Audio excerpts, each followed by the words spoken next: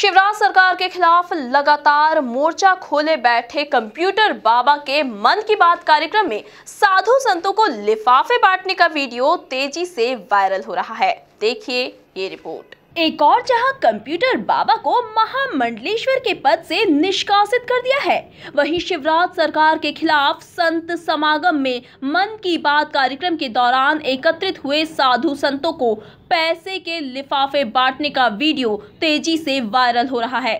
बताया जा रहा है कि ग्वालियर में संत समागम में शामिल होने आए साधु संतों को कंप्यूटर बाबा ने पैसों के लिफाफे देकर बुलाया था।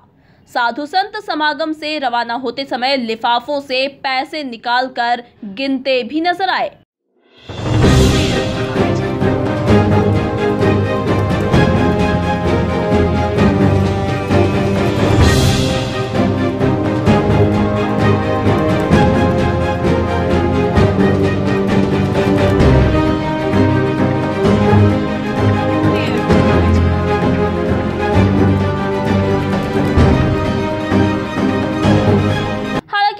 न्यूज़ इस वीडियो की सत्यता की पुष्टि नहीं करता है। लेकिन कंप्यूटर बाबा पर दोहरी मार पड़ती साफ़ नज़र आ रही है।